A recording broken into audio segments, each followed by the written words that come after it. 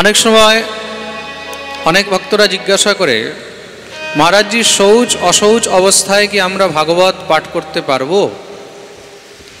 শৌচ অশৌচ অবস্থায় শ্রীমৎ ভাগবত মহাপুরাণ গ্রন্থকে স্পর্শ করতে নেই। সে সময় শুধু শ্রবণ করতে পারবে, শুনতে পারবে, স্পর্শ করতে বা পাঠ করতে পারবে না। মাতৃগণ তারা যদি অপবিত্র অবস্থায় থাকে, অনেকে এটাও জিজ্ঞাসা করে সেই সময় কি আমরা ভাগবত পড়তে পারব? তারাও সে সময় ভাগবত গ্রন্থকে স্পর্শ করিবে না। শুধু ভাগবতই নয়, ভাগবত, গীতা ইত্যাদি মহারাজ, এই সমস্ত ভগবত স্বরূপ গ্রন্থদেরকে স্পর্শ করা উচিত নয়।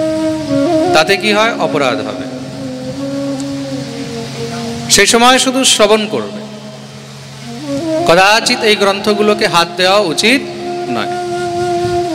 অশৌচ নিবৃত্তি হলে, অপবিত্রতা নিবৃত্তি হলে তখন গিয়ে এসব স্পর্শ করা যায়।